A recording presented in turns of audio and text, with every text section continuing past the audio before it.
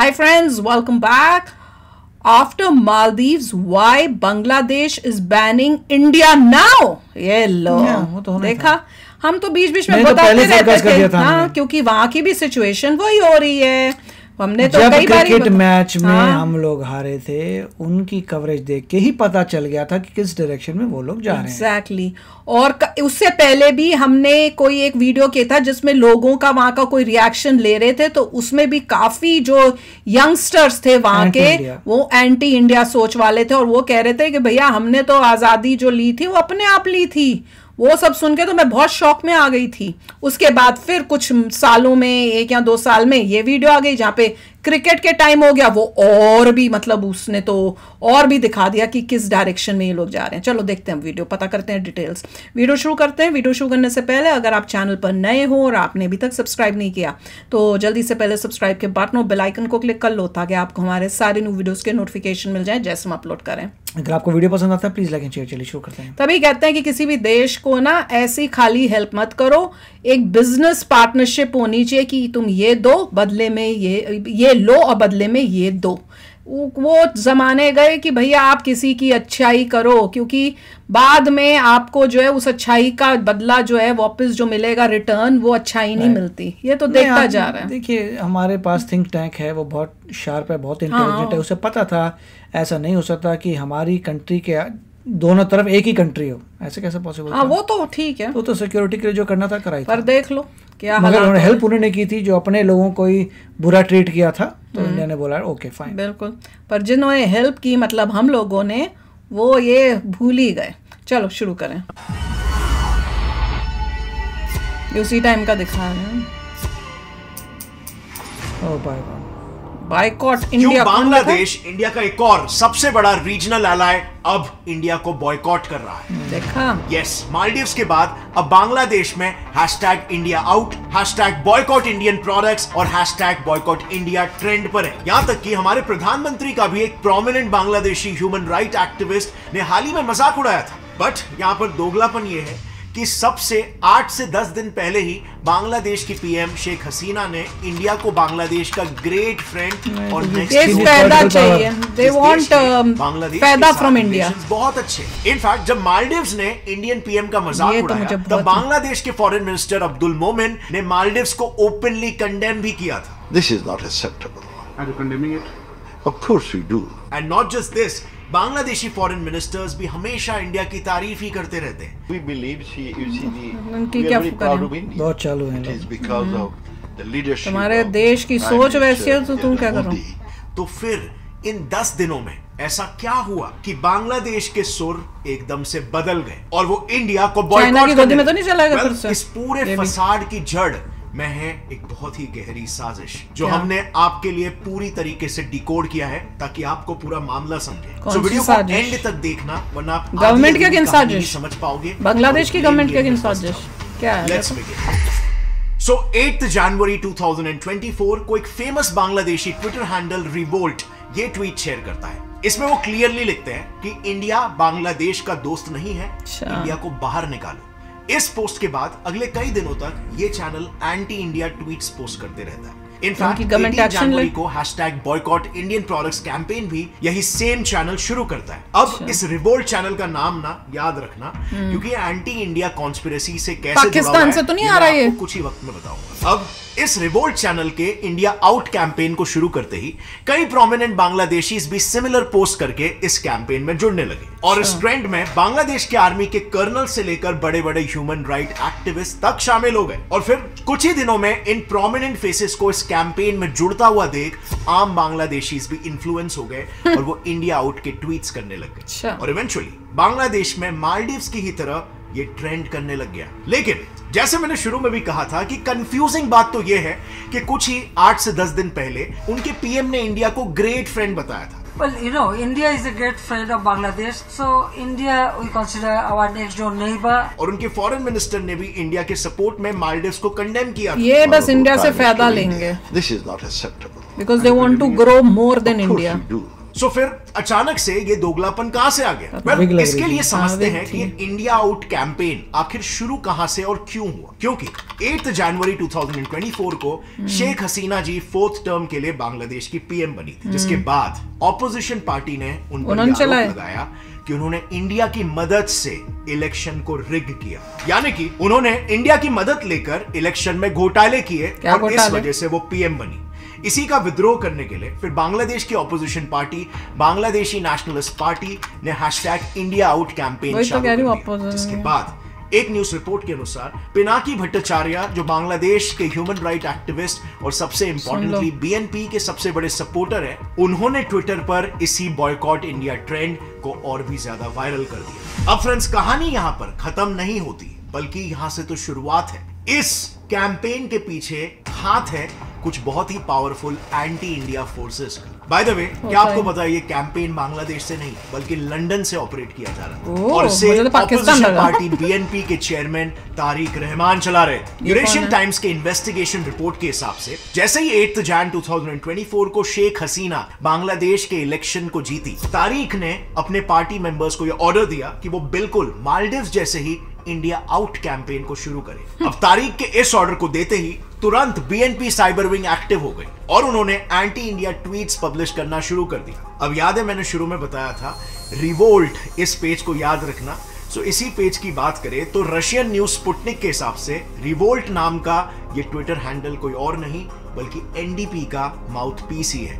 और इसी news report के मुताबिक, तारीख के ऑर्डर्स पर ही इसी पेज ने India out boycott India trend की शुरुआत की। अब क्या आप जानते हो तारीख इंडिया को इतना हेट क्यों करते हैं? वेल well, इसका जवाब उनके फैमिली लिनिएज में छुपा हुआ है। तारीख मेजर जनरल जियाउर रहमान का बेटा है। जो पाकिस्तानी आर्मी में टॉप पोजीशन पर थे और बांग्लादेश के पहले मिलिट्री डिक्टेटर भी। इनफैक्ट उन्होंने 1965 में इंडिया के खिलाफ वॉर भी लड़ा था जिसके लिए उनको पाकिस्तान गवर्नमेंट ने मेडल देकर ऑनर भी किया था। और इसीलिए उनके दिल में इंडिया के लिए हेट शुरू से ही है। तो So, 1978 में जियाउर ने ही बांग्लादेशी नेशनलिस्ट पार्टी बीएनपी बनाई थी। एंड यू नो व्हाट इस पार्टी की हिस्ट्री रही है। इस पार्टी ने हमेशा पावर में आने के लिए ऑपोजिशन पार्टी वालों का मर्डर किया है। दरअसल 1975 में खुद बांग्लादेशी न्यूज़ रिपोर्ट के हिसाब से जियाउर रहमान ने फादर ऑफ़ बांग्लादेश शेख मुजीबुर रहमान का मर्डर किया था और उनका मर्डर करने के बाद जियाउर बांग्लादेश के मिलिट्री डिक्टेटर बने। नाउ क्योंकि जियाउर इंडिया से काफ़ी ज़्यादा हेट करते थे और शेख मुजीबुर इंडिया को अपना सबसे बड़ा एलाय मानते थे इसीलिए जियाउर ने पावर में आते ही एंटी इंडिया नैरेटिव फैलाना शुरू किया और लोगों में इस्लामिक रेडिकल माइंडसेट डालना शुरू किया तो इस। रेडिकलाइजेशन के लिए सबसे पहले उन्होंने कॉन्स्टिट्यूशन को अमेंड किया और जहाँ पहले बांग्लादेशी सिटीजन्स को बंगाली बोलते थे उसे अमेंड यानी चेंज करके उन्होंने बांग्लादेशी टर्म इंट्रोड्यूस किया। और उन्हीं के टेन्योर में जो बांग्लादेश एक सेक्युलर देश हुआ करता था वो इस्लामिक रिपब्लिक बन गया। और इसके बाद एज यू कैन इमेजिन इनके टर्म में बांग्लादेशी हिंदूज को वहाँ पर खूब सप्रेस किया गया। And now you'll be shock to know कि अभी तक बीएनपी पार्टी तीन बार पावर में आई है 1991, 1996 और 2001 बट इन तीनों इलेक्शंस में एक कॉमन पैटर्न है। इलेक्शन से एक साल पहले बीएनपी हमेशा से बांग्लादेश में एक एंटी हिंदू प्रोटेस्ट करवाती। और ऐसा ही करके उन्होंने तीन बार इलेक्शन जीते भी है जिनमें से 2001 का एंटी हिंदू मैसेकर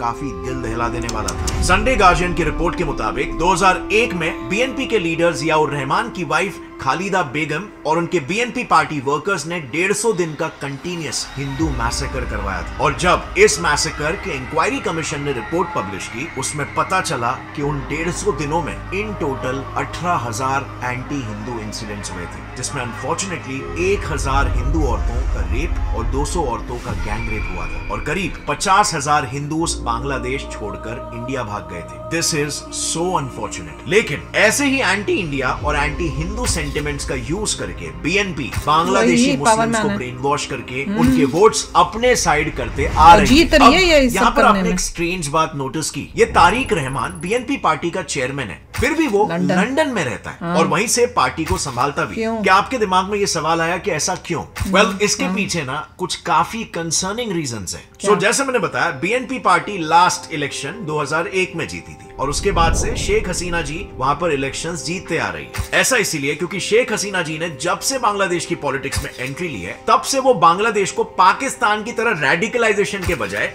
डेवलपमेंट के रास्ते पर लेके जा रही हाँ, और इससे। बांग्लादेशी इकोनॉमी में क्लियर इंप्रूवमेंट्स भी दिख रहे हैं। और शेख हसीना जी के इसी अप्रोच की वजह से बीएनपी की पॉपुलैरिटी कम होने लगी थी। इस गिरती पॉपुलैरिटी को देखते हुए 2004 में तारिक ने हसीना जी पर एक असैसिनेशन अटैक प्लान किया। हुआ कुछ यूँ 21 अगस्त 2004 में शेख हसीना जी बांग्लादेश के एक सिटी में एंटी टेररिज्म को लेकर स्पीच दे रही थी। तभी तारिक और उसके 19 साथियों ने हसीना पर कई हैंड ग्रेनेड्स फेंके। इस अटैक में हसीना जी इंज्योर हो गई और उन्हें पार्शियल हेयरिंग लॉस हो गया। पर वो इस अटैक से जैसे तैसे करके बच गई। लेकिन अनफॉर्चुनेटली इसमें उनके पार्टी के 24 लोग मारे गए और लगभग 500 लोग बुरी तरह से घायल हो गए। इस टेररिस्ट अटैक के लिए ढाका कोर्ट ने यह वर्डिक्ट दिया कि तारीख ने हरकत उल जिहाद अल इस्लामी इस टेररिस्ट ऑर्गेनाइजेशन के साथ मिलकर ये पूरा टेररिस्ट अटैक भाग। गया होगा और तारीख ही इस अटैक का मास्टरमाइंड था। और इस क्राइम के लिए कोर्ट ने तारिक को लाइफ इम्प्रिजनमेंट की भी सजा सुनाई।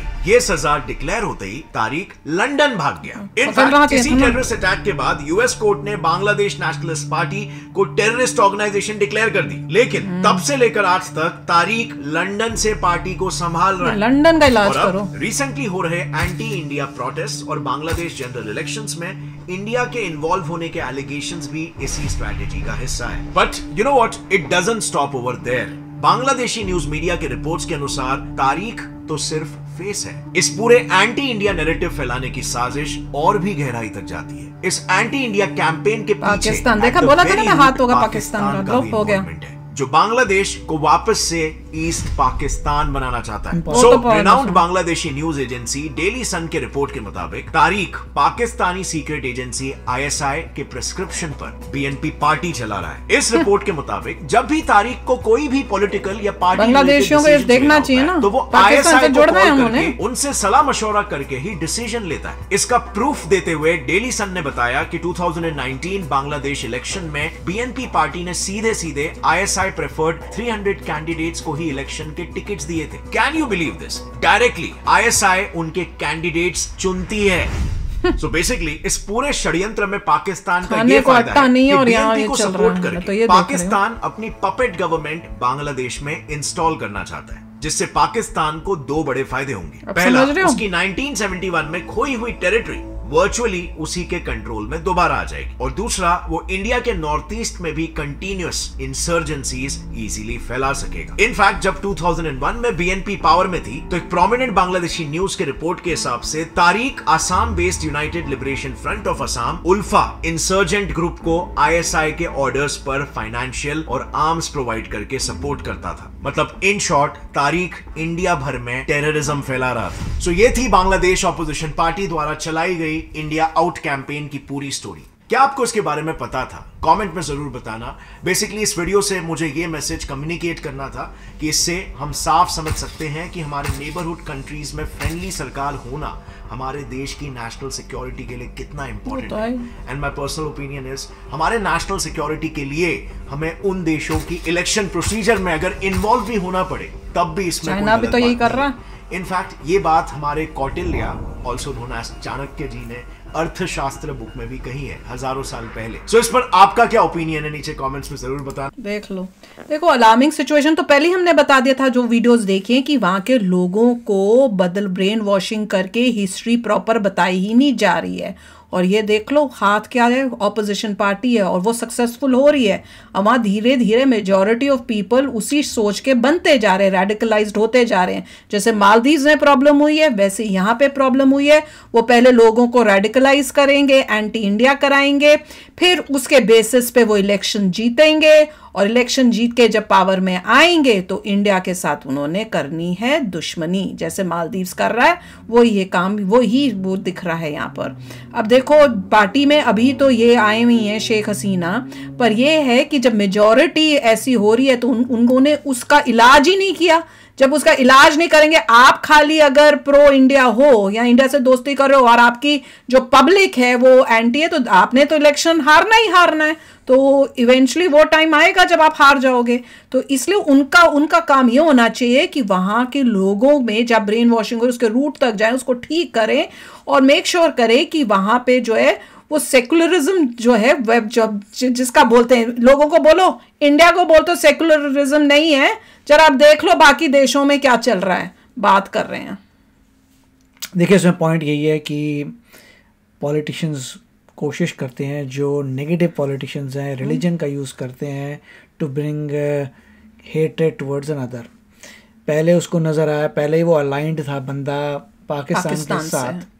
फिर जो भी बीएनपी वगैरह बनाता है उसको चलाता है नहीं चलती तो वो तो हमेशा इसी कार्य के लिए लगता रहेगा कि किसी तरीके से आप एंटी इंडिया हो और, मैं और वो रिलीजन का इस्तेमाल हम्म। करेगा डिवीज़न क्रिएट करने के लिए। क्योंकि वो चाहता है कि पाकिस्तान से अलाइड हो। तो वो कोशिश करेगा हंड्रेड परसेंट रिलीजन को यही बोलेगा कि आपका रिलीजन खतरे में है आपके साथ वाले कंट्री में आपके रिलीजन के लोगों के साथ ये होता है वो होता है। रिलीजन का ही पूरा यूज़ करेगा टू डिवाइड पीपल और इंडिया के लोगों को ये बोलना है इंडियन जो है वो पहले इंडियन है रिलीजन का फ़र्क नहीं पड़ता। और इंडिया को तेज़ी से ग्रो करना है। और ऐसा नहीं है कि बहुत सारे कार्यक्रम करने हैं टू हेल्प देम उनको अपने आप ही कम्पीट करना पड़ेगा। नहीं कल को देख लेना हिस्ट्री आपको बताएगी कि आप इनकी हेल्प करोगे इवेंचुअली आपके अगेंस्ट होंगे। मेरे तो मैं तो मेरे को तो फ्यूचर में यही दिख रहा है भैया। अब वो पता चलेगा कि मैं करेक्ट हूँ कि नहीं आगे पता चल जाएगा रिसर्च और डिफेंस वगैरह बहुत इंपॉर्टेंट है कि नहीं करनी हाँ, नहीं। आगे बढ़ना और यही एक कंट्री है ना जो कह रही थी कि वो बिना वीज़ा फ्री कर दो ताकि हम आए जाए। बिल्कुल नहीं। किसी भी नेबरिंग कंट्री के साथ हमने ये नहीं करना अनलेस एंड अनटिल वो हमसे ज़्यादा वो है और जैसे हमें फ़ायदा हो जो नीचे हमसे उनके साथ करके हमने अपनी कंट्री का नुकसान right. नहीं करना। तो चलो आप भी शेयर करना अपने थॉट्स चलते हैं मिलेंगे नेक्स्ट वीडियो में। बहुत ही जल्द till then take care and bye bye तो अगर आप मेरे इस चैनल पे नए हो तो जल्दी से सब्सक्राइब के बटन को हिट करो और बेल आइकन को क्लिक करो ताकि आपको मेरा जब नया वीडियो में लगाऊँ आपको उसके बारे में जल्दी से पता चल जाए।